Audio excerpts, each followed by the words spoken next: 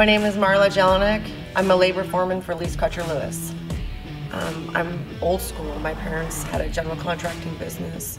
So when I was 12, um, I was doing windows, roofing, and siding, started ground cleanup. Um, I pushed a crew, but it was different. Back then it was, you called people on the phone. We didn't, well, we didn't even have cell phones back then, so it was landline. So, you know, technology's gone a long ways, and I don't think it going, I don't see it going backwards. It's just gonna keep progressing.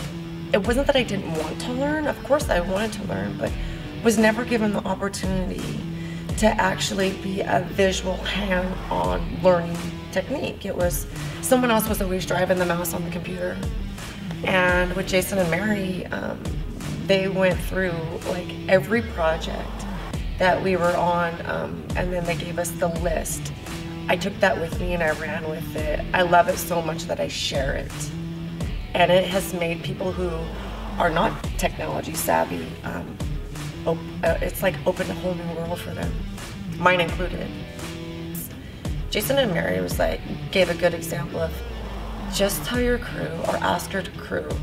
In addition, take five minutes. After your area is cleaned up, take five minutes and focus on something to organize. I have nine people on my crew.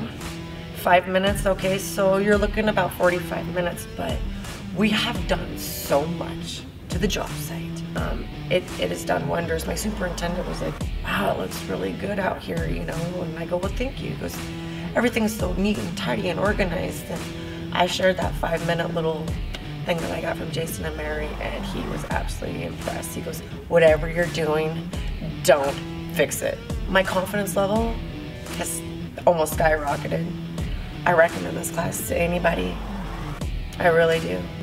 They could ask any questions. They can stay after class. They can come early. They can email both Jason and Mary. Um, and they're always going to be there for all of us. Starting class and gradu- after we graduate. I'm grateful. I'm very grateful that I had the opportunity to come here.